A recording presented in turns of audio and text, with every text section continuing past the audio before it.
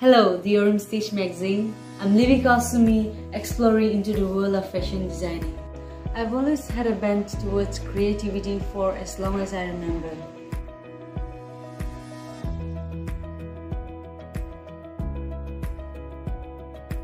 In the midst of managing my business, I decided to pursue fashion designing diploma course of three years. Presently, we customize outfits, costumes, and wedding gowns.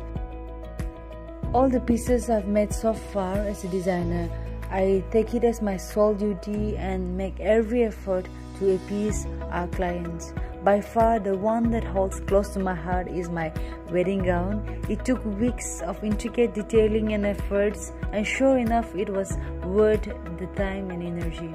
It would be incomplete to not mention my clients, who I believe confides in Levika Apparels.